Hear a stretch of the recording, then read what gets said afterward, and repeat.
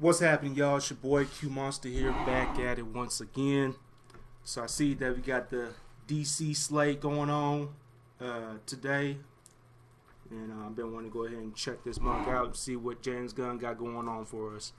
Because um, I mean, I'm I, am i am not getting my hopes up, but we're gonna see what we got going on.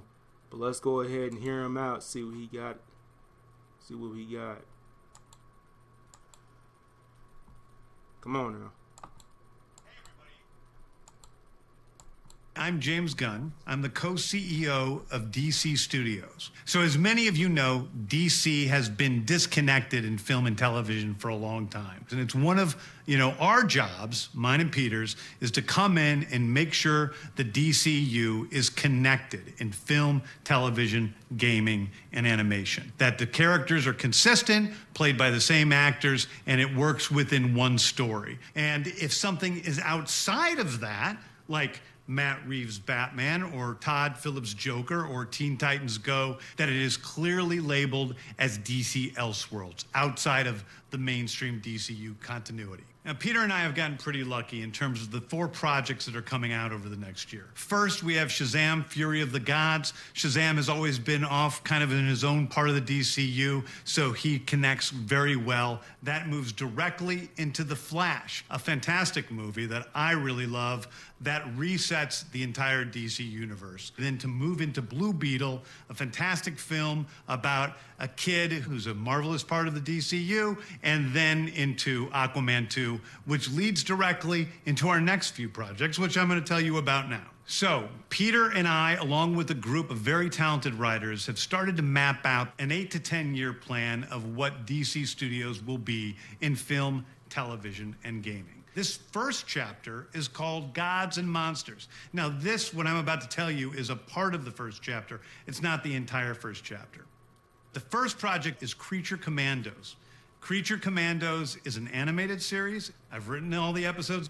Something we're going to do that's a little bit different at DC is we're going to have characters move into animation, out of animation, usually having the same actor play their voice as who plays them in live action.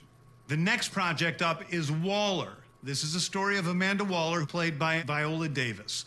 Viola Davis is going to team up with members of Team Peacemaker. And this is a story that's been created by Christal Henry, who did Watchmen, and Jeremy Carver, who created the Doom Patrol. It is a fantastic story that's out of this world, and I can't wait for people to see it. Okay, next up is the big one the true beginning of the DCU. This is called Superman Legacy. This is being written by me. I'm in the middle of it. I'm having a great time doing it. And Superman will be released into theaters July 11th, 2025. Okay, the next thing is a big premiere HBO television series called Lanterns. This is a story of a couple of Green Lanterns, John Stewart and Hal Jordan, and we have a few other lanterns peppered in there, but this is really a terrestrial based TV show, which is almost like True Detective with a couple of Green Lanterns who are space cops watching over so Precinct Earth. In it, they discover a terrifying mystery that ties into our larger story of the DCU. Next is a big movie called The Authority. The Authority is a passion project of mine. It's based on that. the marvelous Wildstorm characters. Is. We are now bringing into the DCU and will interact with all of our primary DCU characters. The Authority are a group of superheroes who think the world is broken and they want to fix it by any means necessary. I think it's a very different look at superheroes.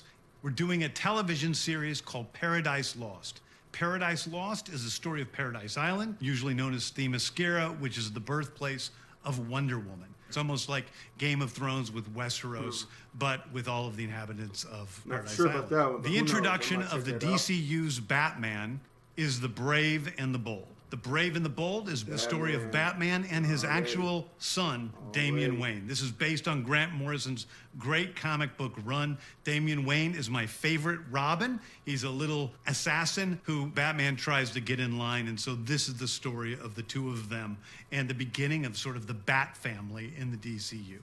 Next up is a TV series called Booster Gold. Booster Gold is one of comics' really popular cult heroes. He is a fascinating guy. He's a loser from the future who uses future technology to come back to present day and become a superhero so that people will love him. It is basically the superhero story of imposter syndrome on an HBO Max series. One of my favorite comic book series from last year was Tom King's run on Supergirl Woman of Tomorrow. And so we're going to turn that into a big science fiction epic film. Now, Superman is a guy who was sent to Earth and raised by loving parents, whereas Supergirl in this story, she is a character who was raised on a chunk of Krypton. She watched everybody around her perish in some terrible way, so she's a much more jaded character. And that brings me to Swamp Thing, the last thing we're going to talk about. A very dark horror story in the origins of the monster who is Swamp Thing.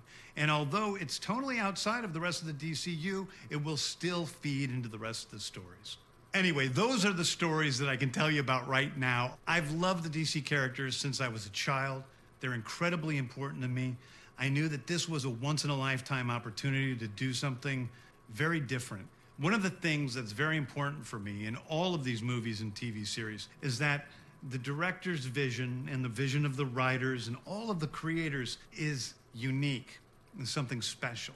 Storytelling is always king. That's all that matters to us. And I want to be true to those stories. I want to be true to you guys and really give you something different than you've ever seen before. Anyway, thank you, everybody. I appreciate you watching. I hope this was exciting for you because it's really exciting for me. And I can't wait to start to dive into these stories with you guys on this grand adventure. Thank you so much. Alrighty. So that was it for the DC, the DC slate. Um, I mean, I mean, I'm, I mean, I'm interested to see the Batman Brave and the Bold. Like I said, you already know me; I'm a hardcore Batman fan, so you already know that. As far as all the rest of the stuff, I can care less about. I mean, it does not make sense, anyways. But um, like I said, I don't know how they trying to reboot this and everything. Plus, you know, you're trying to have the Batman Brave and the Bold, and you got Damian Wayne, knowing that we have not really seen the other Robins, you know, before him, which I really don't understand that. But uh, I don't know, man. I really don't know. I really don't know. So I don't know what else to say, man. But we'll see how it goes. Yeah, I mean, it's like I said before with my other videos. I mean, if it don't work out, then hey, we need Zack Snyder to come back. You know what I'm saying? Bring back Henry Cavill, bring back Ben Affleck, bring back Gal Gadot. Uh, far as Ezra Miller, he needs to be recast, recast him to a different actor.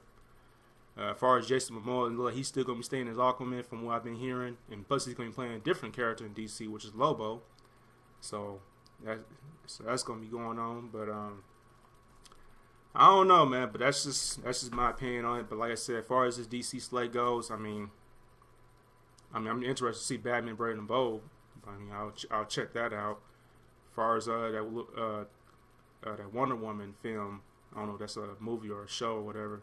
Uh, Themyscira about uh, Wonder Woman's home homeland, her hometown. Well, not hometown, but her homeland and everything. Themyscira. Uh, I might check that out. Who knows? I might check it out. But um, yeah, that's all I can say on that. so post your comments down below. I really want to know what you guys think, man. Are you interested in seeing these type of projects of DC? Let me know what's up. If you're not interested, let me know. Let me know down below. Also, if you're not interested at all, or, or if you are interested, you know, let me know which project you like the most, or which project you don't like. You know what I'm saying? Let me know down in the comment section below, man. So let me know what y'all think. And uh, if you enjoyed my reaction, make sure you hit that like button. And always subscribe and share it. And I'll catch you guys later. Deuces.